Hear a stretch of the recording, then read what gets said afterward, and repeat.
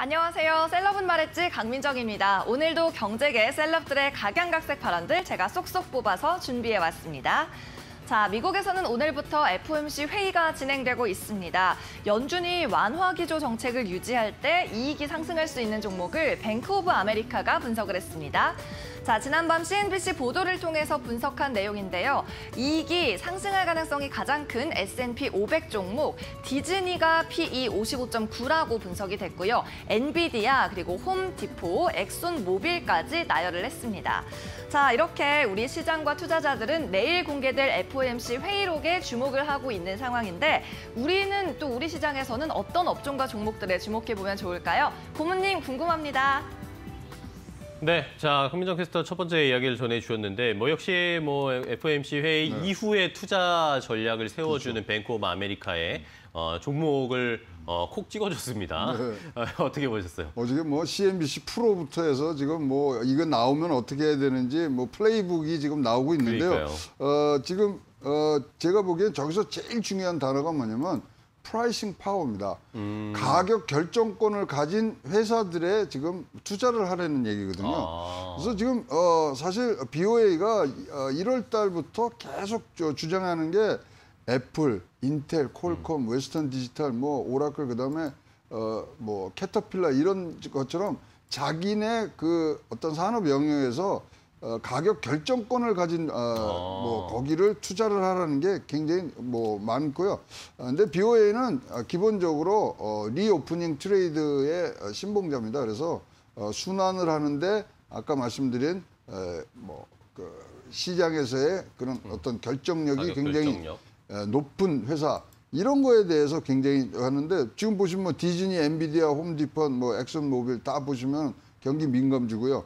어 그다음에 특히 이제 엑슨 모빌이 들어온 게 국제 유가가 이렇게 급등락을 지금 하고 있는 상황에서도 음. 어, 꿋꿋이 가, 는 부분들이 가는데 이거를 우리한테 넣으면 이래요. 디즈니에 아, 뭐 이것이 맞다고 하, 가정을 하고 음. 어, 우리 우리나라에 들어오면 어, 디즈니에 상대되는 건 우리나라 엔터테인먼트 주, 어, 음. 어, 주식들이고요.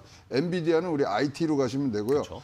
홈디포시 이제 우리 소비재입니다. 음. 그러니까 지금 뭐 다시 이 재개가 되니까 집을 많이 고치고 하는 부분들이니까 이거는 어, 뭐 음. 소비재로 음. 보고 엑슨모빌 아시겠지만 뭐 S오일이나 음. 또 이거는 포스코까지도 저 영향이 미치는 부분들이 있어서 그렇게 연결을 시키시면은 재미있는데요. 어, 하여튼 어, 뭐 이런 거 자료들 많이 갖고 어, 축적을 해놓으시고 내일 결과 보고 움직이셔도 늦지 않을 것 같습니다. 네, 좋습니다. 자, 뱅크 오브 아메리카의 playbook, 이 연준 FOMC 이후에 투자를 어떻게 가져갈지 힌트를 좀 줬는데 이것도 한 편에 좀 챙겨 두시기 바랍니다. 자, 다음 또 이야기, 다음 셀럽의 이야기 확인해 보겠습니다. 강민정 캐스터 전해주세요. 네, 이번에는 반대로 연준이 이 양적 완화를 축소할 때 긴축에 대한 시나리오도 분석을 하고 있는데 CNBC에서 긴축 발작이 우려가 되고 이 테이퍼링 기간에 어떤 종목들이 수익이 좋았을지 분석을 해봤다고 합니다. 자, 지난 테이퍼링은 2013년이었습니다. 당시 수익률이 가장 좋았던 종목 마이크론 테크놀로지가 89.7%의 수익을 냈었다고 하고요.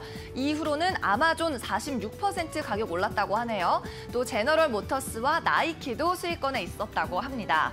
자, 내일 FOMC에서 과연 어떤 내용이 나올지 시장이 주목하고 있는데 이 기사에 대한 분석 역시 스튜디오에서 부탁드립니다.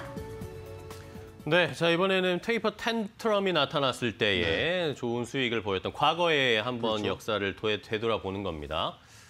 근데 그때는 맞고 지금은 이제 틀린 게 뭐냐면 그렇죠.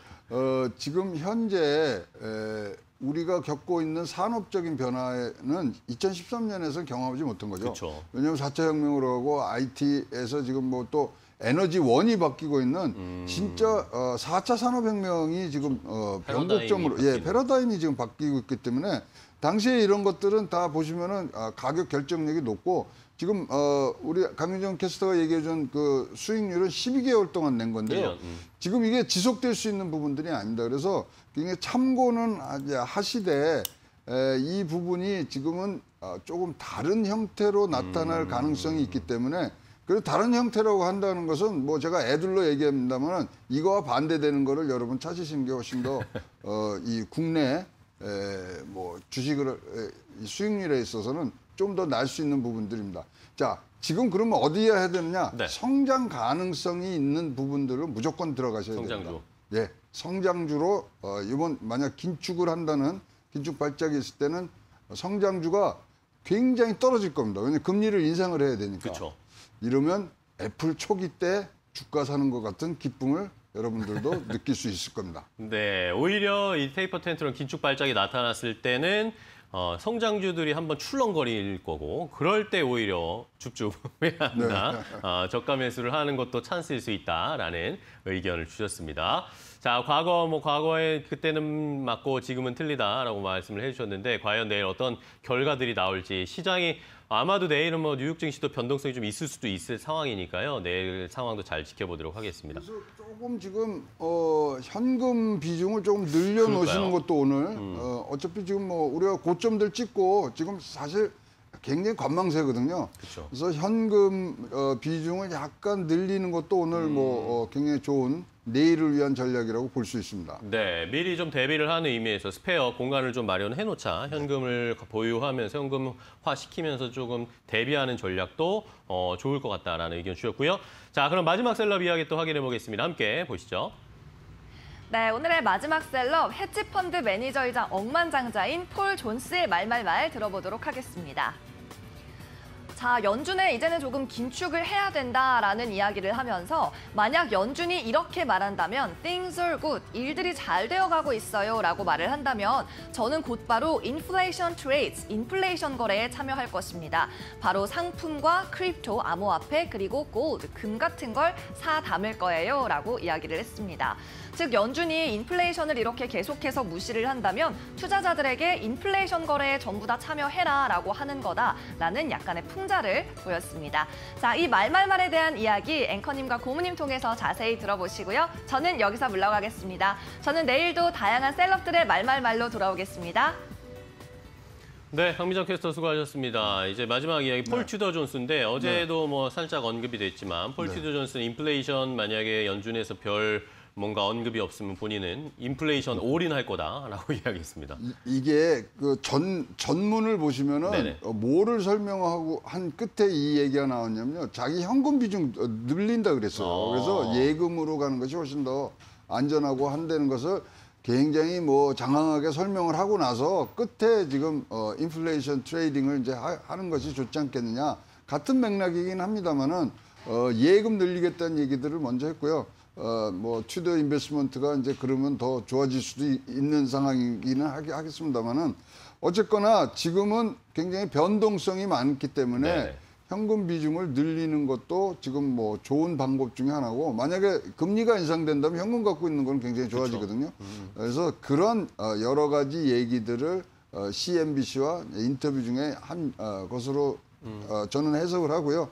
뭐 지금 뭐 어, 위험 어, 회피 자산인 금과 뭐 등등을 사는 거는 그거는 아직은 좀 아닌 것 같다는 생각은 네. 드- 갖고 있습니다. 네, 알겠습니다. 폴 튜더 존스도 어쨌든 뭐 현금화 전략을 조금 쓰고 있는 상황이고 어제 데이, 제이미 다이먼 JP 모건 회장도 똑같은 어, 얘기했죠. 네. 똑같은 얘기했죠. 현금 가지고 있고 인플레이션 뭐 금리 인상에 대비한다 지금 라고 이야기를 하고 있는 상황이어서 추이를 잘 한번 체크를 해드렸고 아, 이제 결국에는 이 내일까지 한 24시간 정도 남은 상황에서 어떤 FOMC에서 이야기가 나올지 이게 가장 중요한 포인트가 되겠습니다. 내일 이 시간에도 어, 최영 고문과 함께 FOMC에서 나온 이야기들 자세하게 분석해 보도록 할 테니까요. 많은 기대해 주시기 바랍니다.